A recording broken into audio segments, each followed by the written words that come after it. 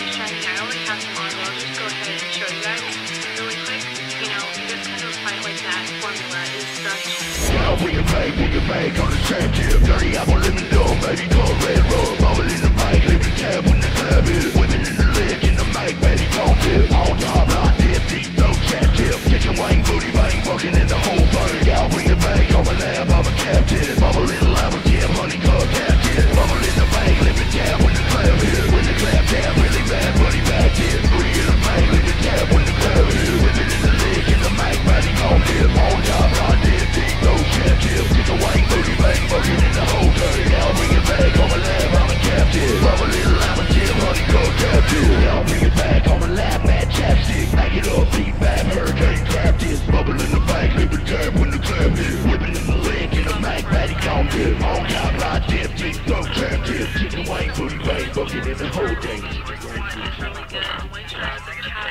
guys, so that's it for this review on the Chapstick Total Hydration Lip Balms. I totally love these. I think they're awesome. Not gonna lie, I kind of feel like I need to have one of these in my purse all time. If you've tried these, leave a comment down below telling us what you think of them because I would love to hear from you all. And as always, thank you so much for watching. Uh-oh, they coded it. Let me let me try to find a reopen it.